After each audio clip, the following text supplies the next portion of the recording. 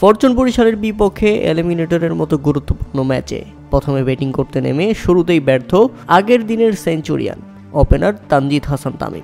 তিন বলে মাত্র দুই রান করে ফিরে নেই ব্যাটার। এরপর ইনিংসের পঞ্চম ওভারে খোদে কাকতালীয় ঘটনা।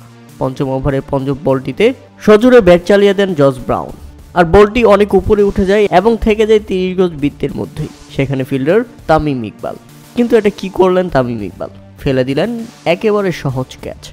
হতাশ, মাথায় হাত তার। আপনারা যদি একটু ভালো করে রিপ্লাই দেখেন, তামিম ইকবালের হাতে বলটা পড়েছিল এবং তিনি ক্যাচটা লুফেও নিয়েছিলেন। কিন্তু ফোস করে বলটি হাত থেকে ফসকে যায় এবং তামিম ইকবাল রীতিমতো হতাশ হয়ে যান এটা কি করলেন তিনি? তাতে একুশ রানে বেঁচে যায় জজ ব্রাউন। এর পরের বলেই ঘটে আসল কাহিনী। জস ব্রাউনের মতো ঠিক ব্যাট চালিয়ে দেন ইমরানুজ্জামান, সেখানে ফিল্ডার তামিম এবং কায়েল মায়ার্স। তবে এবার তামিম ইকবাল নয় কায়েল মায়ার্স কল করে বসেছেন।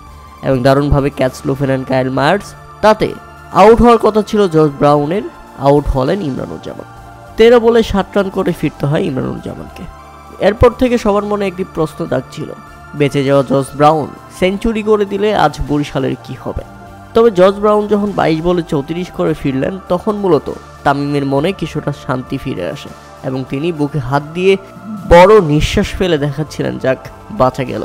নাহলে ভক্ত সমর্থকরা আমাকে আজ দুও দিয়ে শেষ করে ফেলতো।